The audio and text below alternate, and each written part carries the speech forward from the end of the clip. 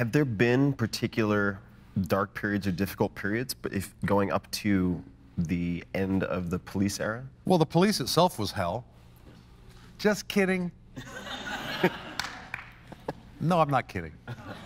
No, it was both. It was like a Prada suit made out of barbed wire. It was incredible to have that effect on audiences. To get on stage and do what we did was darned exciting. But it became more and more difficult for us to resolve our creative differences. And they come from an honest place. You know, in the early days, songs would come into the band with just some chords, and we'd say, oh, cool, let's play that and let's mess around with it. And the writer of said song would be, oh, really? You like my song? You want to play it? Oh, wow, guys, cool. Can I make tea? After you've written a few hits, that humility turns into something else. It turns into confidence. So the vision of where to take the band began to not be quite so symmetrical. And we, uh, you know, I saw the band like this, Stingo saw it like that, and Andy just saw, great, they're fighting again. It's so weird. It makes no sense that we created such important music that so many people kind of liked, and yet it came from